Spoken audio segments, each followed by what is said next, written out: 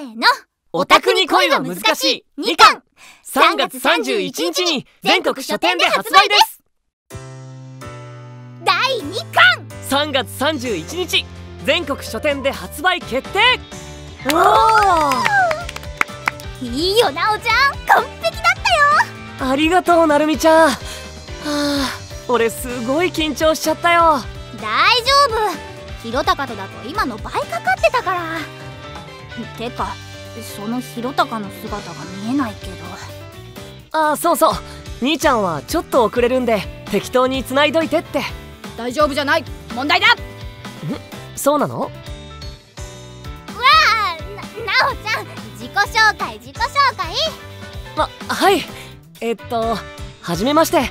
二藤直也です。よいつも兄ちゃんがお世話になってます。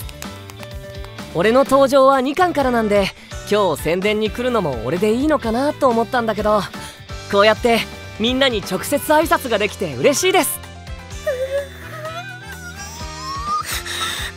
神様仏様一神者様ありがとう。いやしかしあれから約11ヶ月2巻ですよ2巻。そうだね。2巻までの道のりを思い返すともう胸熱胸熱？誰？うわあそっか。なおちゃんひごただからわかんないよね。ひよたえっ、ー、とね胸熱ってのはねこうテンションマックスで胸が熱く。あ熱くって厚みの話じゃないからね。胸が熱くなったことなんて一度もないわ。え？って言わせんな恥ずかしい。えっとこう感動がすごいことになって、こうなんかいろいろやばい。落ち着いて。わかんないよね私もわかんないよボケヒンだもん。よくわかんないけどすみません。カメラ止めてください。あと救急車呼んでください。ああ呼ばなくていいです。なるみもなおもおちけつ。えひろたか。あ兄ちゃん。2巻発売と聞いてきたけどただのカオスな収録だったので帰ります。帰らないで兄ちゃん。なるみちゃんの様子がおかしいんだよ。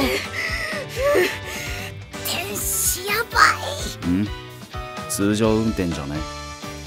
えそうなの？うん。同人誌読んでる時はだいたいこんな感じ。ひろたかくんそろそろ時間だ。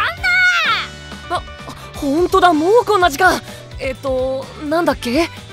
うん。あそんなこんなでいつものメンバーに萌え萌えキュンキュンな天然系大天使のなおちゃんが加わってさらにパワーアップしたオタク第2巻はこれなるみのセリフかなるみちゃん？どうしたの？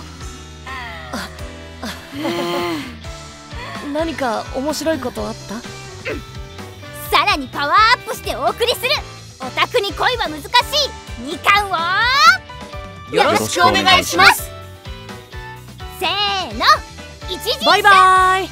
ギュンギュンしようぜ。